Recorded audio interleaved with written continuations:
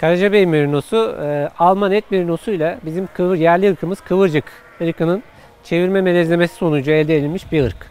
%98,5 merinos, %1,5 kıvırcık kanı bulunmakta ve sürüyü bu şekilde sabitlemiş durumdayız şu anda. Arkadaşlar bakın bu yeni bilgi. Ben de bugün yeni geldiğim, yani bugün geldiğimde öğrendim. Serkan'la biz görüşüyoruz ama kendisi benim sınıf arkadaşım. Ee, şu anda Bandırma Koyunculuk Araştırma Enstitüsü'ndeki koyunlar %98,5 Alman et merinosu genetiği, %1,5 civarı da e, yerli kıvırcık genetiği taşıyor.